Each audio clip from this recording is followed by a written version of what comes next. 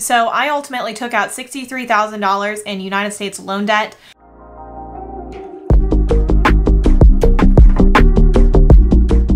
Hello everyone and welcome or welcome back to my channel. If you're new here, my name is Kaelyn. I'm a master's student at the University of Oxford studying history and in the fall I'll begin my PhD in history and African American studies at Yale University. So today's video is going to be all about how much it costs for me to attend Oxford as an international student for my master's. I went to Oxford for my master's in US history for their nine month degree which is called the Master of Studies. They have other degree programs for masters such as the MSc or the MPhil. The MPhil typically two years at Oxford. So we're gonna be specifically talking about the nine month master's program for US history and many of these fees will apply in other areas of study. So as an international student, you pay much higher fees than UK nationals or even EU nationals. And so I'm gonna be walking you guys through how much money I took out in federal loan debt and how much the tuition costs, how much accommodation costs, etc. and basically how I have managed to budget it. So I wrote everything down here on my iPad, so we're gonna go ahead and just jump right into it. I ultimately decided to attend Oxford because I thought of it as an investment, a financial and time investment in my academic work in order to get me into a PhD program that would be well ranked and would be the best fit for me for my PhD.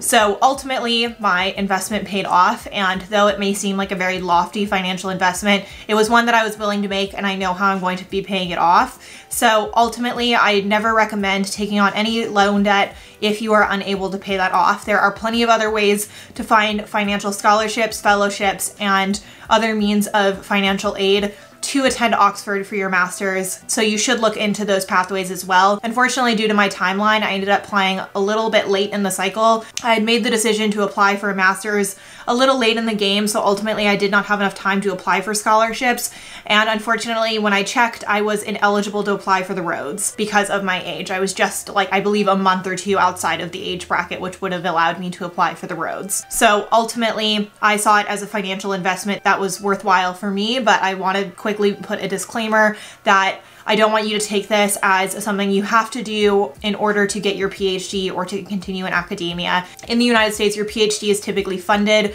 My Yale PhD, the tuition is covered, I get health insurance, and I get a living stipend. Once I get to Yale, I can make a video all about my budgeting and how I'm using that stipend in order to pay rent and my other daily expenses. So if that's a video you guys want to see, please let me know in the comments down below. I just want your feedback. And also when you guys like and comment my videos, it makes it so that other people can see these videos and it reaches a wider audience. So please go ahead and contribute in that way. It really helps my channel and I really appreciate being able to interact with you all. And so we're gonna go ahead and jump right into it. I'm gonna tell you guys a little bit about the situation. It might be a little bit of a long video, so go ahead, grab a cup of tea or coffee and let's get going. So in order to attend Oxford, I ended up taking out US federal loans. So I have a direct unsubsidized loan that amounted to $20,284 and a direct plus loan which equated to $42,807 to total $63,091 in federal loan debt. So if you guys want more specifics on unsubsidized versus direct versus subsidized,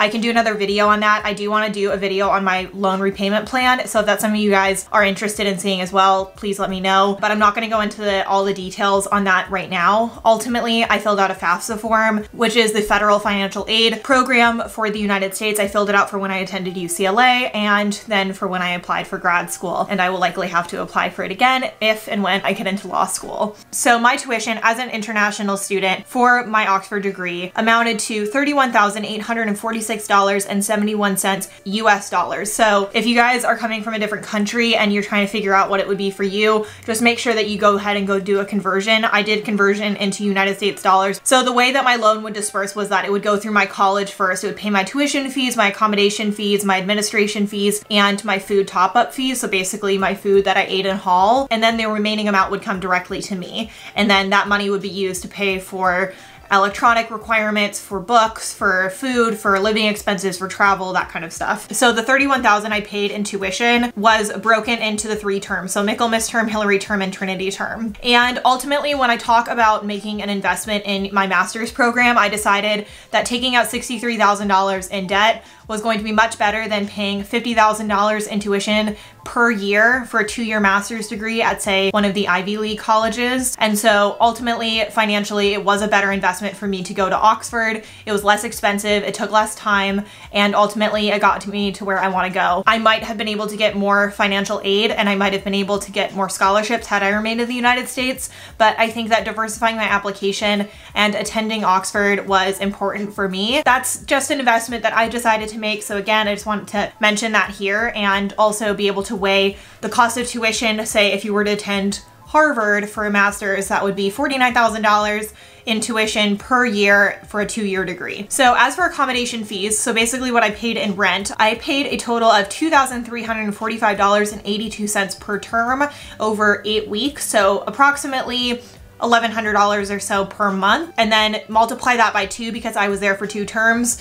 due to COVID. So I was there for Michaelmas term and for Hilary term and that amounted to $4,691.64 USD. In college, you also have administration fee. Administration's fees take care of your college expenses. It takes care of your MCR membership fee and all of that, I believe. So the administration fee amounts to $75.27 per term times three terms. So you'll pay a total of $225.81 for all three terms. And in terms of food top up, so basically the amount of money that I would put into my account in college to eat in hall was around $689.95 per term. I was there for two terms, so it amounted to $1,379 and 90 cents USD. The amount of money that was taken out in terms of my administration fees, my tuition, my accommodation, everything that was taken out by college amounted to 38,000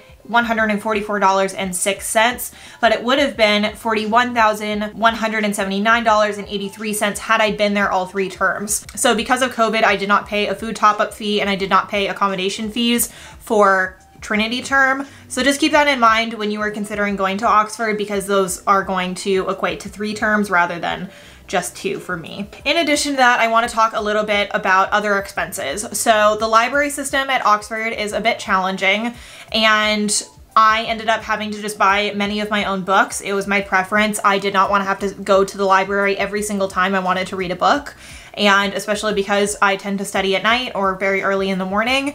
And so I spent around $600 on books this year. And that's not uncommon for me. I typically spend quite a bit of money on books. I would say around $1,000 per year for my books. And I don't see a problem with that. There are book funds and other things that you can apply for if you're at school for an extended period of time. I will definitely be applying for those when I get to Yale. But ultimately, I see books as an investment in my research and in myself and in my collection. I prefer to be able to write my notes in my books. So I don't see that as a major inconvenience and I see that as part of my fees. So I rounded it out to around $600 spent on books this year. And then in terms of electronic equipment, so I ultimately decided that I needed to upgrade my computer, one, because of my academic work and how I was going to need a reliable computer for the next six years as I head into a PhD, but I also wanted to upgrade and get an iPad for my note taking. So although obviously it is a lot more expensive than buying traditional stationery, I find it much more useful and it's also useful for my business and other practices. If you guys want to know a little bit more about going digital and why I made the switch from typical stationery to an iPad, iPad, then I will go ahead and link that video in a card as well as down below. So this year I also had to purchase a phone because the phone I had before was basically glitching out on me and I needed to upgrade. But unfortunately, when you upgrade and you have to leave and live in a foreign country, you have to buy the phone outright. So I ended up using some of my loan in order to buy a new phone. I typically would have put my phone on a payment plan had I not been in the UK, but in order to use an international SIM card, I had to buy the phone outright. So I spent around $4,000 total on electronics and electronic equipment. That also includes software. So there was some software that I did have to update on my computers and other things that I ended up purchasing. So $4,000 is probably a low estimate in terms of how much I spent but that's how much I calculated when I pulled this all together. So in total, it amounted to around $42,744.06 with all of my fees. So that includes my books, my accommodation fees, my tuition, my food top up, my electronics, all of that. So it would have been $45,779.83 had I stayed in the UK and COVID had not happened. So just keep that in mind. And in addition to that, I also calculated travel, so planes, trains, buses, and this estimate is on the low end. Flights are incredibly expensive to and from the UK. I also had to use it in order to take trains to London, take the bus to Oxford every single time. So my travel fees, I would amounted to around $2,000 for the year, but I believe it might have actually been more. But you also have to keep in mind the immigration fees. So this is something that I did not calculate when I was first preparing to go to Oxford. I did not think about how much money a tier four student visa was going to cost me.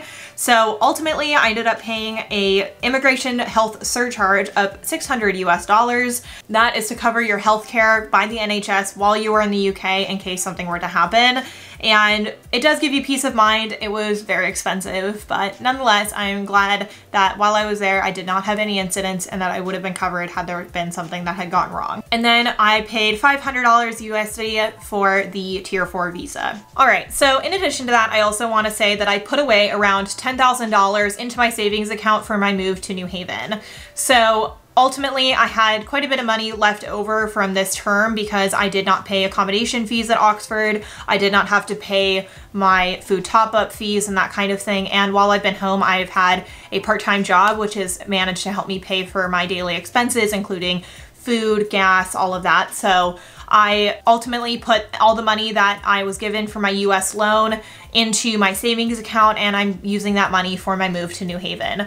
I'm also adding additional money from work, but because of COVID, my family is unable to help me with my move, which I was planning on them being able to help me. So I'm really lucky that I have this US loan and that I have a loan repayment plan. So I don't plan on using all of that money. It's mostly so that way I have the peace of mind. It's just sitting in my savings account and I'm prepared to use it for my move. I want to set myself up nicely when I am in New Haven because I'm going to be there for six years for my PhD. And so I want to make sure that I'm nice and comfortable. So I'm not touching that money until I move. That's also subtracted from the total amount. In addition, I did not have a job while I came home for winter break. So the winter break was around, I believe, six weeks. I can't quite remember but I ended up also taking a trip to DC, which I did not receive a travel grant for. I ultimately had booked this trip to DC ahead of time because I thought that I was going to be needing to do research at that time, but I ultimately ended up not needing to because of the sources I ended up using. So that trip ended up just being more for recreation. And then for the rest of the time that I was home, I also had to pay my own way with food. I had to pay for gas. I also went down to LA a couple times. So ultimately, I think I spent around $1,600 when I was home over winter break in terms of travel and food and all of that. So I also subtracted that. So then when I take that total amount and subtract it from my US loan, I was left with $5,655, which was divided over seven months. So October, November, half of December, half of January, February, March, April, May. So I did not include June, July, or August because I am working during this time and making enough money in order to pay my expenses. So ultimately I was left with around $807.86 per month and that went for food, it went for clothing, it went for little weekend trips, it went for going out with my friends. So the thing about budgeting is just keeping in mind how much you're spending, how much you're able to allocate, and ultimately when I actually rounded out, it was probably less than that because of other fees. I also have other monthly expenses to keep in check, including subscriptions and memberships and that kind of thing. So I ultimately took out $63,000 in United States loan debt and I do have a loan repayment plan. I do have a way of paying it off. And I also am going into my PhD where I will be making a salary per month for my PhD, which is my stipend. And in addition to that, I also have my consulting business and my YouTube. And though it doesn't create that much revenue at the moment, I do make some side income, which is incredibly helpful. And I ultimately decided to start my business on the financial side because I wanted a way to pay off my federal loans. I still have a little bit of loan debt from when I was at UCLA. It's not that much, but when I combine that with my master's degree loan, I do want to get that paid off as soon as possible. So it's always on my mind. It's something I write down. And I think that the most important thing in terms of